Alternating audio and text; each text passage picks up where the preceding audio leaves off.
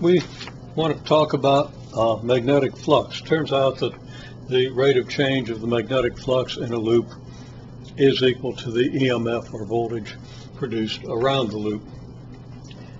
We've seen this uh, with a magnet and a coil of wire, and we manipulate the magnet in front of the coil in such a way that the amount of magnetic field going through the coil varies. Okay, we change the direction of the magnetic field so that it either goes right through the loop or goes parallel to the loop and doesn't really go through.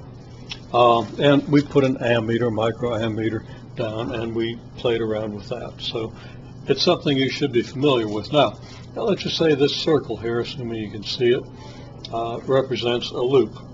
And we have a magnetic field in this direction. Then this circle is going to intercept the maximum amount of this magnetic field, provided the magnetic field is perpendicular to the plane of the loop, which would make it parallel to a unit normal vector perpendicular to the loop. So magnetic field here, unit normal vector in the same direction, maximum interception of magnetic field by the loop.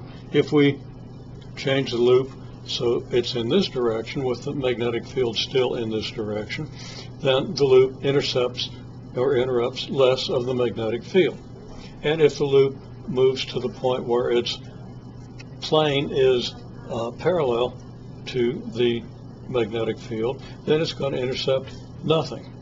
Okay, so there's no magnetic field passing through the loop. Now, of course, if we turn the thing around backwards, you can't see the loop anymore. Uh,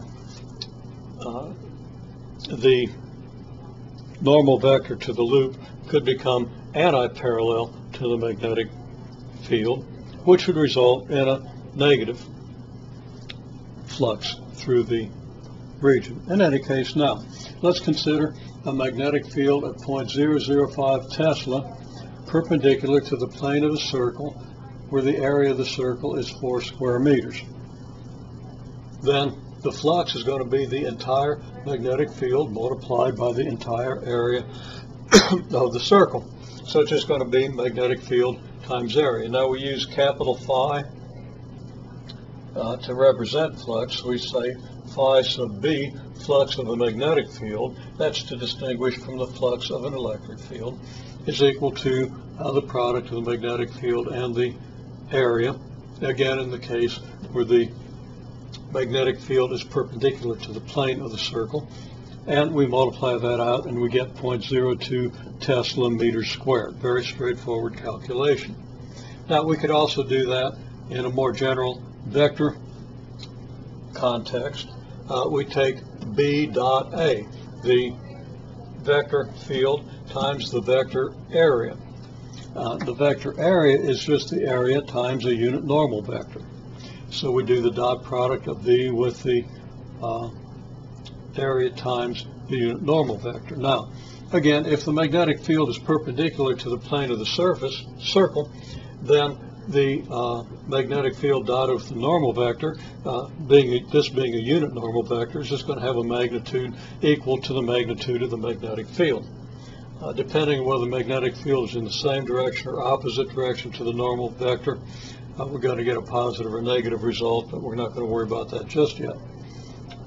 Okay, so let's say now we have magnetic field 0.005 Tesla times the I vector, and we have a circle in the xz plane. Uh, same circle, area 4 square meters. So what's the vector area? Well, the vector area is going to be the area times vector perpendicular normal to the circle. And if the circle's in the xz plane, if this is x, y, z, if the circle is in the xz plane, then the normal vector is either going to be j or negative j. So we're just going to use, I'll put a plus or minus here. It could be a plus or minus because j might be positive or negative um, according to this rough calculation, okay? Um, it's not a rough calculation. We're just being a little ambiguous about the positive and negative yet. at this point. Okay, so the area then would be, the, the area vector would be the area times the unit normal. The unit normal would be, let's say, the j vector.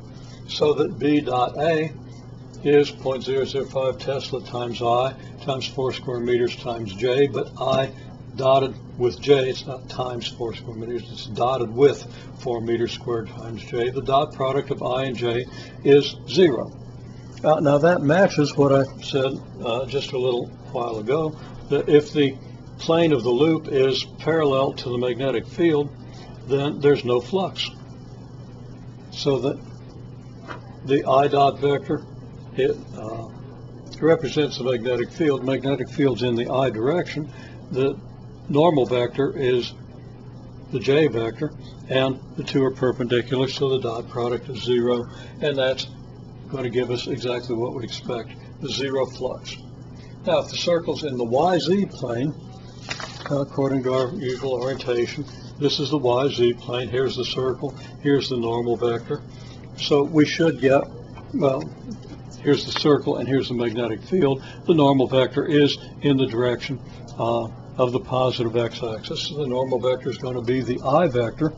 So when we do the uh, area vector, we're going to do the area 4 square meters times the I vector.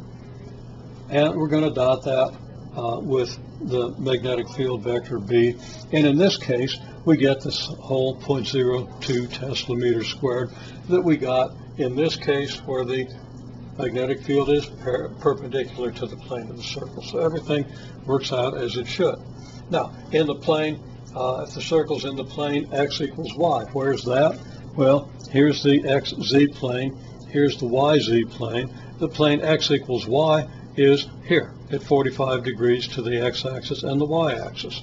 So here's your 45 degree plane. Uh, to get the area vector, we have to find a vector normal to that plane.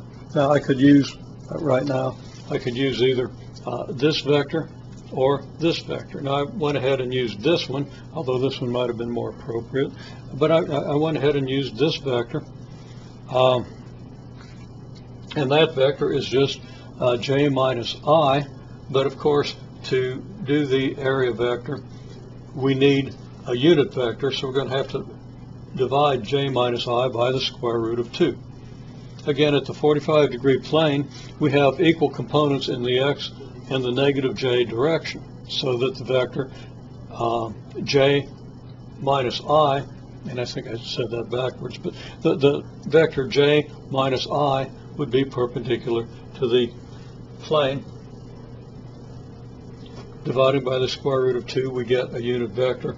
And then we do the dot product and the calculation is straightforward. The i dotted with the j gives us 0. Uh, we get the uh, i dotted with the i, and of course it's a negative i, so I should have maybe made this negative.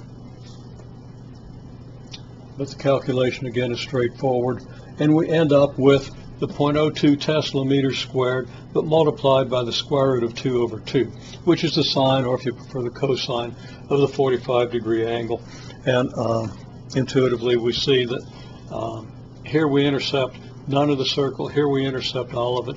Here we intercept square root of 2 over 2 times the total area.